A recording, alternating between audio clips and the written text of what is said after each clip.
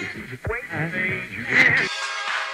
ladies and gentlemen, and tonight we got the Mega Dance 1999. Mega Dance.